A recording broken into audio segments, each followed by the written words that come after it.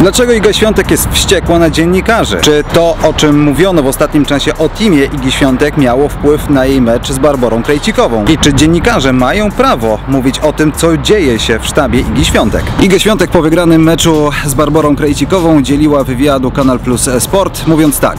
Miałam dużo myśli w głowie związanych z tym, co ostatnio działo się w Polsce. Po prostu wiedziałam, że nie powinnam o tym myśleć podczas gry. Najważniejsze jest to, że mimo tego, że miałam długą przerwę, to udało mi się skoncentrować i nie myśleć o rzeczach, które mnie zabolały. Tak mówiła Iga Świątek.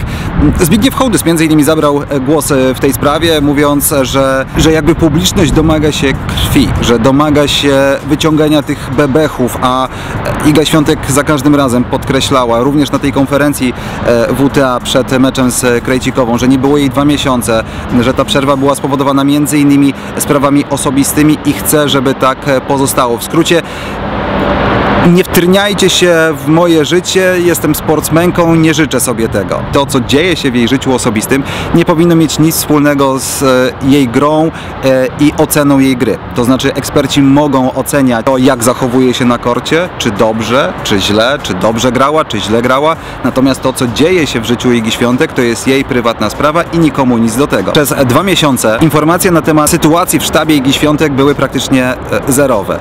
Sztab Igi Świątek, ten team to jest taka zamknięta twierdza. E, Lakoniczne komunikaty, informacje, które pojawiają się dosłownie na 48-72 godziny przed turniejem, że Iga jednak nie pojedzie na ten turniej. Sprawiają, że ludzie zaczynają pytać, że zaczynają snuć domysły. Nie ma jasnej deklaracji, co właściwie się dzieje. To, że e, doszło do rozstania z Tomaszem Wiktorowskim, pojawiło się nagle, niespodziewanie. To, że w tym komunikacie praktycznie nic nie zostało wyjaśnione, sprawiło, że jeszcze bardziej pojawiały się e, domysły, czy coś aby złego się nie dzieje. Uwaga kibiców i ekspertów została skierowana na trenerkę mentalną Darii Abramowi. Skoro Iga Świątek nie chce nic mówić, skoro Tomasz Wiktorowski nie chce nic mówić, skoro Daria Abramowicz nie chce nic mówić i jej team generalnie milczy, to zaczynają pytać otoczenie byłych trenerów, ekspertów, co właściwie mogło stać za tym, że Tomasz Wiktorowski rozstał się z Igą Świątek i czy to było rozstanie obustronne, czy został zwolniony, czy sam jakby podał się do dymisji. Dziennikarze zaczynali i eksperci zwracać uwagę na to, że Daria Abramowicz nie odstępuje Igi Świątek na krok. Jest praktycznie z nią wszędzie. Sam zresztą rozmawiałem i z psycholog sportową, i z trenerem mentalnym, który e, współpracował z siatkarzami, z koczkami narciarskimi. Zwrócił też mi uwagę, że na przykład nie wyobraża sobie e, sytuacji, w której e, trener mentalny, odpowiedzialny za dbanie o psychikę e, zawodnika, na przykład włącza się w kwestie związane z treningiem technicznym, że to jest po prostu niewyobrażalne. To jest jakby no, coś, coś, co do tej pory nie miało miejsca. Czy to jest, są uzasadnione pytania, czy w ogóle powinniśmy o to pytać? Jeżeli dużo się dzieje wokół sportowca i ma dużo na głowie, a oprócz tego jeszcze pojawiają się, no właśnie, pytania ze strony, no każda redakcja chce coś na ten temat e, się nowego dowiedzieć, chce przekazać jakąś informację, bo dziennikarze generalnie od tego są. Są od zdobywania informacji. Oni nie są od przekazywania to, co zostało im podane na talerzu, proszę bardzo i e, korzystajcie z tego, bo inaczej to się nazywają komunikaty prasowe. To znaczy dana e, instytucja chce coś przekazać dziennikarzom, przekazuje komunikat prasowy. Natomiast dziennikarze mają też swoje pytania, mają swoje wątpliwości, jakby no e, mają świadomość tego, że kibice też chcą wiedzieć, co się właściwie dzieje i jaki to ma wpływ. W związku z tym zaczynają zadawać te pytania i te pytania nie wszystkim muszą się podobać. Natomiast też nie wszyscy muszą na te pytania odpowiadać.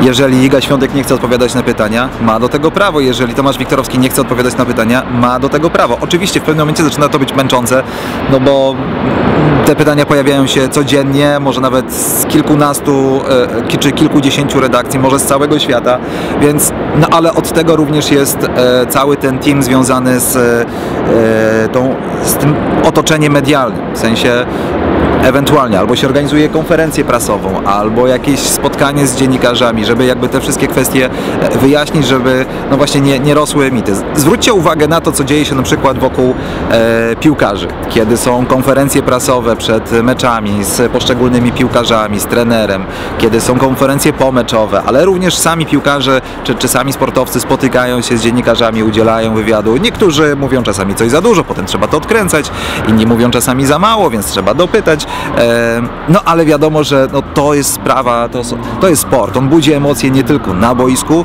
bo powiedzmy sobie szczerze, jeżeli ktoś jest kibicem, to nie tylko w momencie od startu meczu do końca meczu, tylko jest tym kibicem przez cały czas i chce jak najwięcej zdobywać informacji na temat swojego ulubionego zawodnika czy e, zawodniczki. I zdaje sobie sprawę, że to jest męczące. Zdaje sobie również sprawę, że dziennikarze często są oskarżani o to, że jakby wyciągają te, te, te bebechy, że chcą, tak jak mówi Zbigniew Hołdys, domagają się krwi. Ja nie do końca się z tym zgadzam, aczkolwiek no, zdaję sobie sprawę, że każda redakcja odpowiada za siebie, każdy dziennikarz odpowiada za siebie i e, próbuje wyciągnąć na wszystko na światło dzienne. Faktem jest również, że sportowcy mają swoje media społecznościowe i ten przekaz może być jak najbardziej e, kontrolowany. Od tego też jest Daria Abramowicz, żeby Igę Świątek uodpornić również na to, że będąc rakietą numer jeden na świecie, osoby związane ze sportem, kibice z całego świata będą chciały wiedzieć o niej jak najwięcej. No z tym również wiąże się po prostu popularność, więc myślę, że już nieraz zderzyła się ogromnym zainteresowaniem ze strony mediów. To czasami jest przyjemne, czasami jest nieprzyjemne, kiedy dzieje się coś złego. Jest różnica między zdobywaniem informacji i przekazywaniem tych informacji, a nie wiem, nagonką albo hejtem. To są zupełnie jakby dwie e, różne rzeczy i na hejt nigdy nie było, nie ma i mam nadzieję, że nigdy nie będzie zgody. Zobaczcie, co się działo wokół Jeleny Rybakiny i jej e, trenera.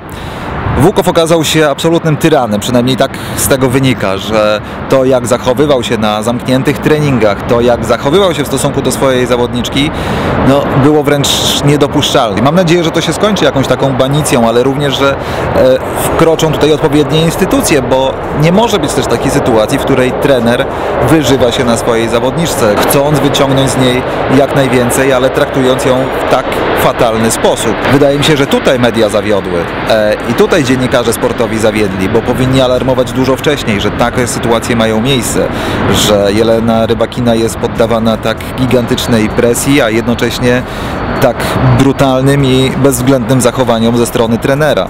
To powinno się skończyć dużo wcześniej. Jelena Rybakina w końcu znalazła nowego trenera i miejmy nadzieję, że e, będzie on w stosunku do zawodniczki jednak e, bardziej wyrozumiały i, i bardziej ludzki. Natomiast takie sytuacje w sporcie nie powinny się zdarzać, w której no nie bójmy się tego powiedzieć, no jakby zachowanie trenera jest niebezpieczne i może doprowadzić do jakiejś tragedii. W związku z tym, tak, wydaje mi się, że dziennikarze od samego początku powinni trąbić, jak nieodpowiedzialnym i złym trenerem jest Wukow e, jak wielką krzywdę robi tej dyscyplinie. A waszym zdaniem, dziennikarze przesadzili, dopytując cały czas o sytuację w teamie Igi Świątek, czy e, na Darię Abramowicz została przeprowadzona jakaś nagonka waszym zdaniem? I czy Iga Świątek faktycznie miała prawo źle się poczuć z tym, co się działo wokół niej e, w ostatnim czasie? Jestem bardzo ciekaw waszych opinii. I czy waszym zdaniem również dziennikarze zawiedli w przypadku trenera Wukowa, w przypadku trenera e, Jeleny Rybakiny?